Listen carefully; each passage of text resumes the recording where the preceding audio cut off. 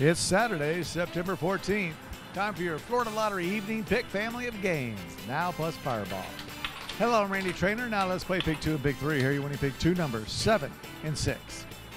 Let's see which winning pick three numbers are tonight. Nine, eight, and nine.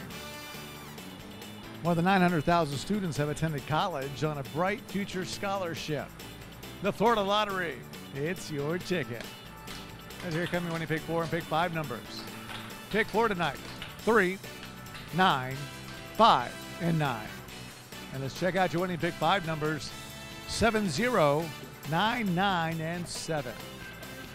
And tonight's winning fireball number. That's going to be eight. And applies to all pick games. Good luck, everyone. Let's take a look at tonight's winning pick draw numbers.